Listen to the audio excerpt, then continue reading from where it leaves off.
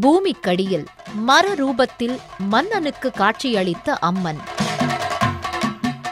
ஆயிரம் கண்ணுடையாள் என்ற நாமத்துடன் பக்தர்களின் கண் நோய்களை தீர்க்கும் அம்பாள். சிவகங்கை நாட்டரசன் கோட்டை அருள்மிகு கண்ணுடைய நாயகி அம்மன் திருக்கோவில் தரிசனம்.